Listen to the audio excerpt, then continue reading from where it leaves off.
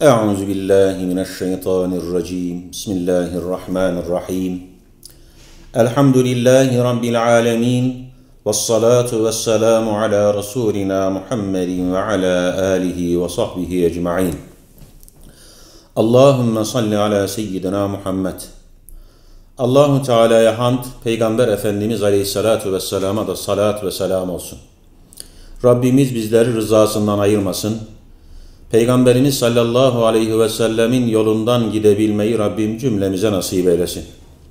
Şu içinde bulunduğumuz dünya hayatını gereği gibi değerlendirebilmeyi, imtihanını kazanarak bu dünya hayatından ahirete irtihal edenlerden olabilmeyi Rabbim cümlemize ihsan eylesin. Değerli kardeşlerim, Allahu Teala ve Tekaddes Hazretleri kainatta sayısız varlıklar yaratmış. Bu varlıkları idare etmek ve bu varlıkları kullanmak ve değerlendirmek üzere de en değerli varlık olarak insanoğlunu yaratmış. Her yarattığı varlığın bir amaca müteallik olarak yarattığını ifade buyuran Rabbimiz, insanı da yeryüzüne halife olarak göndermiş ve yeryüzünde insanoğluna da bir vazife, bir sorumluluk yüklemiştir. Ayeti kerimesinde Rabbimiz şöyle buyuruyor. Bismillah ve ma halaktul cinne vel insa illa liya'budun. Ben insanları ve cinleri ancak ve ancak bana kulluk etsinler için yarattım. Beni tanısınlar, beni bilsinler ve benim emirlerimi ve yasaklarıma uygun bir hayat yaşasınlar, bana ibadet etsinler, kulluk yapsınlar için yarattım buyuruyor.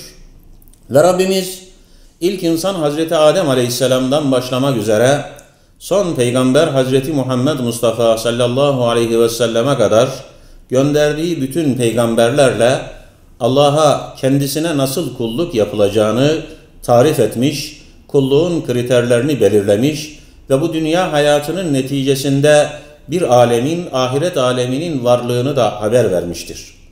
Dünyaya insanoğlunun imtihan için gönderildiğini ve bu imtihan neticesinin de bir gün ahirette ilan edileceğini haber veren peygamberler bizlere örnek olmuş, önderlik yapmış ve Rabbimize nasıl kulluk yapacağımızı öğretmişlerdir.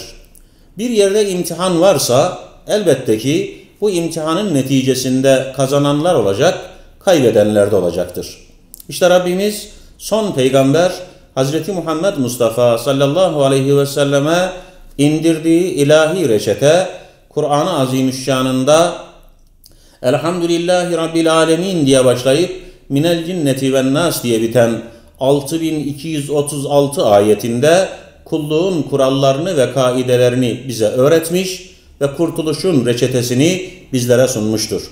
Ve Rabbimiz Kur'an-ı Azimüşşan'ında Mü'minun suresinin ilk ayeti kerimesinde kurtulanların kimler olduğunu açık ve net ifade etmiştir.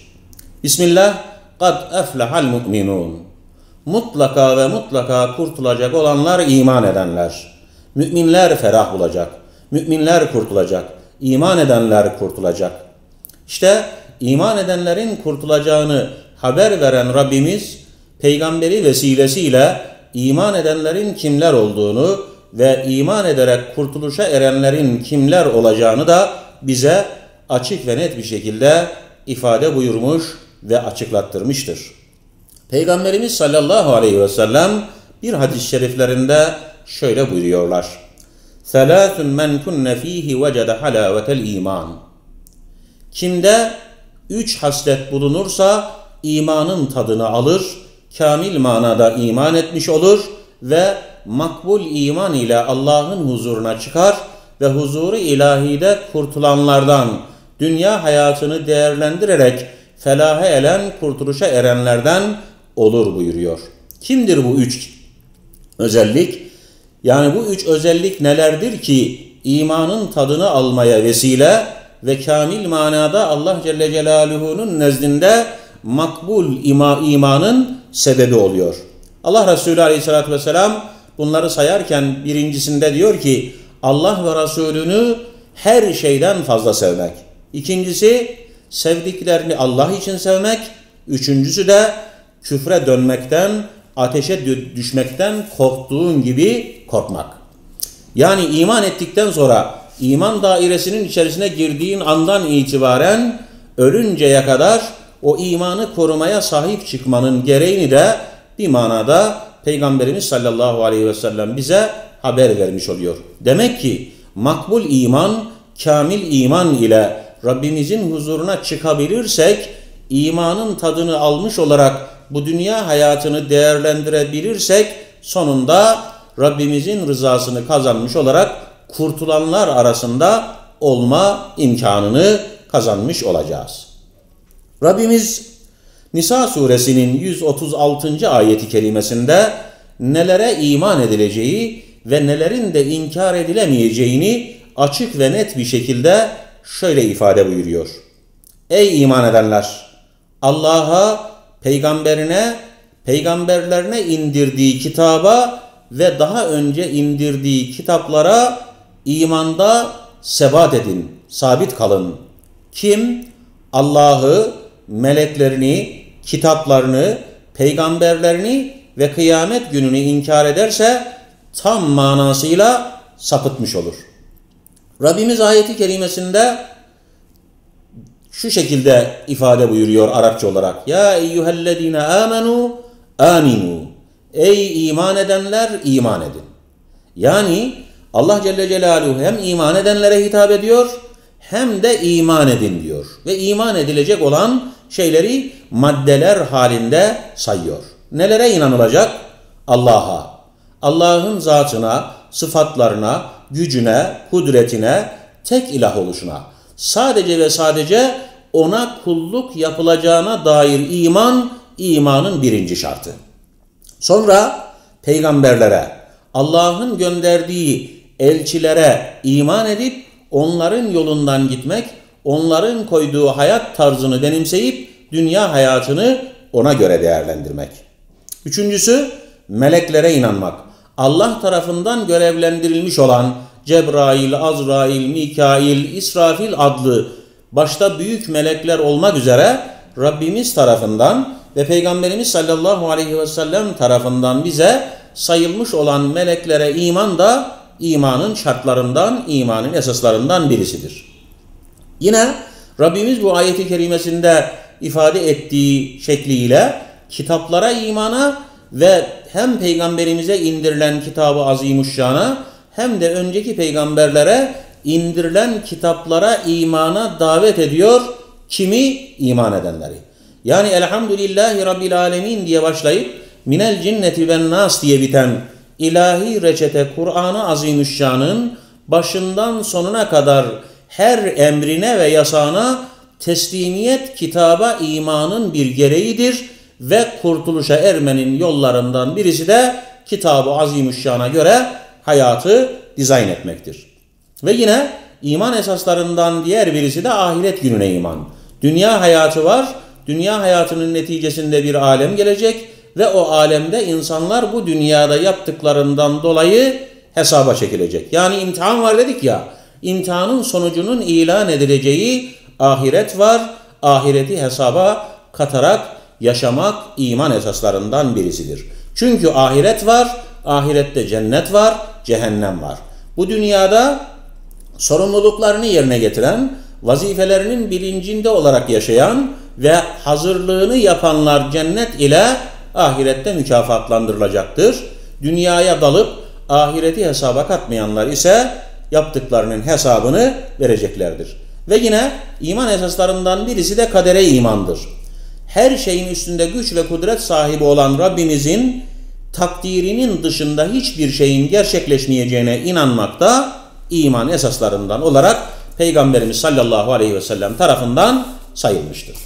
Şimdi değerli kardeşlerim, iman esaslarını böyle zikrettikten sonra Allah'a imanın İslam'ın en başta gelen şartı olduğunu da söyledikten sonra bu imanın hayata dönüşen tarafı bağlamında bize bakan yönüne Peygamberimiz sallallahu aleyhi ve sellem bize neler ifade etmiş. Süfyan bin Abdullah isminde bir sahabi var.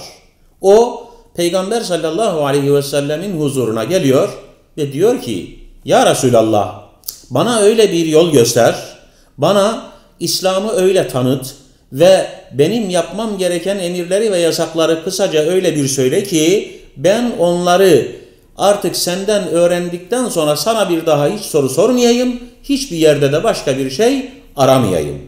Peygamberimiz Aleyhisselatü Vesselam şöyle buyuruyor. Kul amentu billah festaqim. De ki Allah'a inandım ardından da dost doğru ol.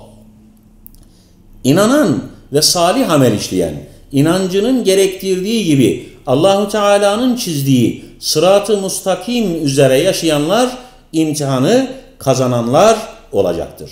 Rabbimiz de ayeti kerimesinde ne buyuruyor? İman edenlerin ardından salih amel işledikleri zaman kendileri için cennetin hazırlandığını ifade ettiği Bakara suresinin 25. ayeti kerimesinde şöyle buyuruyor. Bismillah Beşşirillezine amenu ve amilus salihati enne lehum cennetin tecri min tahtihel enhar. İman eden ve imanını da salih amellerle destekleyen, imanını salih amellerle süsleyenleri altlarından ırmaklar akan cennetle müjdele. Demek ki iman ispat ister. İmanın ispat edilmesi gerekir. İmanın ispatı da salih amellerle olur. Peygamberimiz sallallahu aleyhi ve sellem imanın ispatı bağlamında ve imanın hayata aktarılması bağlamında mesela bir hadis-i şerifinde buyuruyor ki La yu'minu ahadukum hatta yuhibbe li ahihi ma yuhibbu li nefsihi. Sizden biriniz kendisi için istediğini mümin kardeşi için de istemedikçe iman etmiş olamaz.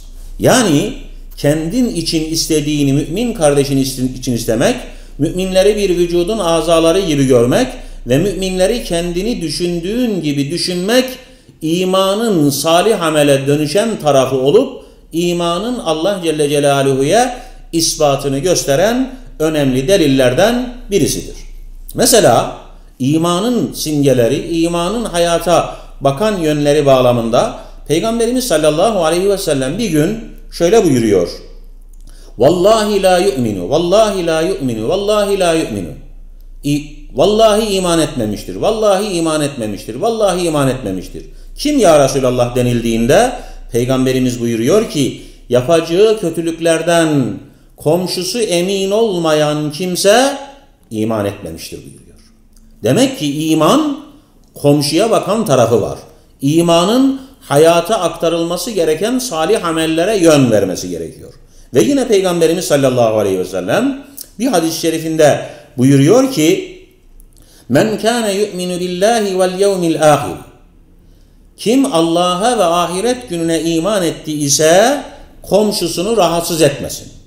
Kim Allah'a ve Resulüne iman etti ise misafirine ikram etsin. Kim Allah'a ve Resulüne iman ettiyse ya hayır söylesin ya da sussun. Şimdi Peygamberimiz sallallahu aleyhi ve sellemin komşuyu rahatsız etmemek, misafire ikram etmek, ağzından çıkanlara dikkat etmek ya da susmayı imanın bir esası gibi zikretmesi ve Allah'a ve ahiret gününe iman eden bir kimsenin hayatına imanının ne şekil yön vereceğini açıkça ifade etmiştir. Yani netice olarak iman salih amellerle anlamlıdır. Allah'a, peygambere, kitaba, ahirete, kadere, meleklere inanan kimse bu inandığı şeylerin hayatına yansımalarıyla, salih amelleriyle Allah Celle Celaluhu'ya imanını ispat edecek ve kurtulanların arasında olacak. Başta okumuş olduğumuz ayeti kerimede Rabbimiz ne buyuruyordu? İman edenler kurtulacak. Hangi iman edenler? İmanını Allah Celle Celaluhu'ya ispat ederek Allah'ın emirleri ve yasakları doğrultusunda hayatını simgeleyen, hayatını dizayn eden müminler. Sonuçta değerli kardeşlerim, iman artı salih amel sonunda bizim cenneti kazanmamıza vesile olacaktır. Sonuç olarak özetleyecek olursak, bugünkü sohbetimizde Rabbimiz ve Rabbimizin gönderdiği ilahi elçi Hazreti Muhammed sallallahu aleyhi ve sellem bizlere neler söyledi? Bir, öncelikle sayısız nimetlerle donatılmış ve yeryüzünün halifesi olan bizler Allah'ı tanıyacağız, Allah'a kul olacağız, bunun için yaratıldık. İki, Dünya hayatı imtihan dünyası ise bu imtihanın neticesinin ilan edileceği ahiret günü gelecek imtihanımıza iyi çalışmamız lazım. 3. İmtihan varsa kazananlar da olacak, kaybedenler de olacak.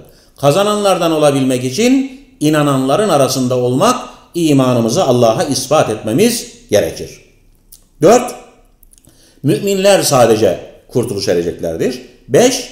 Kamil iman sahibi. Sadece iman değil, imanını ayrıca Allah Celle Celaluhu'nun rızası doğrultusunda amelleri ile destekleyenler kurtuluşa ereceklerdir.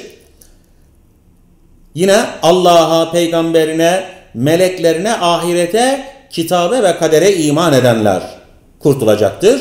Sonuç olarak imanını salih amellerle destekleyerek, destekleyerek Allah Celle Celaluhu'ya inancını ispat edenler sonunda hiçbir gözün görmediği, hiçbir kulağın görmediği, hiçbir kimsenin gönlünden geçmeyecek nimetlerle dolu olan cenneti kazanacaktır. Rabbim inanarak, imanının gerektirdiği hayatı yaşayarak sonunda cenneti kazanabilenlerden olmayı cümlemize nasip eylesin. Rabbim imanını ispat eden, imanının gerektirdiği hayatın gereği olarak Peygamber sallallahu aleyhi ve sellemin yolundan gitmeyi bizlere nasip eylesin. Rabbim hepinizden razı olsun. Velhamdülillahi Rabbil alemin. Allah'a emanet olun. Sağlıcakla kalın.